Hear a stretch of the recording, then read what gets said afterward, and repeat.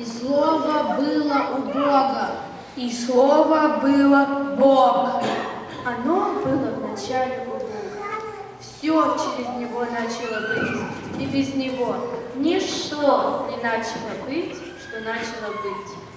И Слово стало плотью и обитало с нами, полной благодати и истины. И мы видели славу Его, славу, как единородного от Отца. Ибо младенец родился нам, Сын дан нам, владычество на раменах его. И нарекут имя Ему. Чудный, советник, Бог крепкий, Отец вечности. князь мира, ревность Господа Саваофа соделает это. ибо Он спасет людей своих от грехов их. Все дева чреве примет и родит сына, и нарекут имя Ему.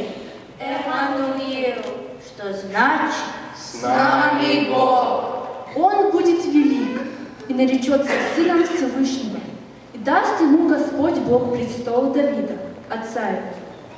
И будет царствовать над домом Иакова вовеки, и царство его Не будет конца. Ибо у Бога не останется без сил никакое слово. И родила сына своего, первенца, и спеленала его, и положила его в ясли, потому что не было им места растериться. В той стране были на поле пастухи, которые содержали ночную стражу у стада своего. Друг! Предстал им ангел Господень, и слава и слава Господня осияла их, и убоялись страхом великим.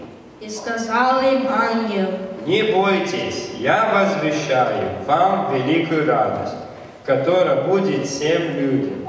Ибо ныне родился вам в городе Давидовом Спаситель, который есть Христос Господь. И вот вам знак. Вы найдете младенец в пленах лежащего ясля и внезапно явилась с ангелом. Многочисленное войско небесное, славящее и взывающее. Слава Вышний Богу и на земле